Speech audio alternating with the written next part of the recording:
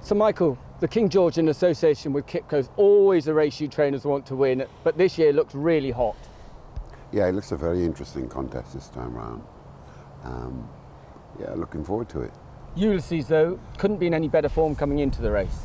Yeah, we're very happy with him, and um, you know, the as far as the trip is concerned, he won a Gordon Stakes and he ran a very solid race at Santa Anita uh, in the in the, in the Breeders' Cup turf, and he's he's more settled this year. He relaxes better, so that'll be that'll be to his advantage.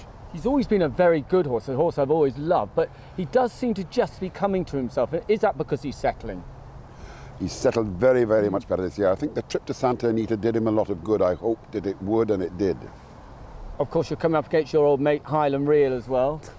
Yeah, listen, he's a very admirable horse, very, very tough to beat. But we, we go there hopeful. I hope there's not too much rain. I'm just going to ask you about that. We were talking to John Gosden about, you know, Jack Hobbs. Of course, he'll love it. Your lad, not so. Um, I just wouldn't want it too testing. I think, you know, I wouldn't want it too testing. So we'll have to see how the weather behaves. But we're hoping to run. I was particularly impressed with his attitude as well at Sandown. He, he really knuckles down, doesn't he? Oh, yes. Yeah, he wants it.